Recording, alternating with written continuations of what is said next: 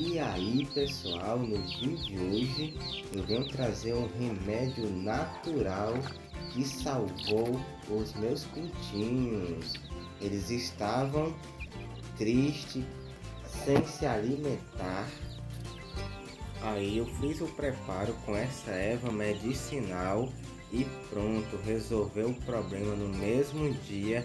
Eles passaram a comer, ficaram alegres e vou falar de quatro benefícios que essa erva medicinal traz para as suas galinhas. Às vezes você tem ela aí no seu quintal e não sabe que ela tem tantos benefícios, então comece a usar. Assista o vídeo até o final para não perder nenhuma dica, porque vai fazer toda a diferença aí no seu criatório.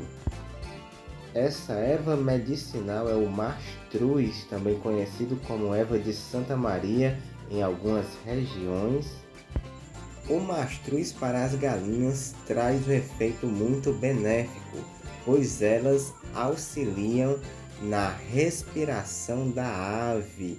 Por ser já aconteceu de meus pintinhos ficarem com a boca aberta sem conseguir respirar. E aí, com esse tratamento, eles passaram a respirar normalmente.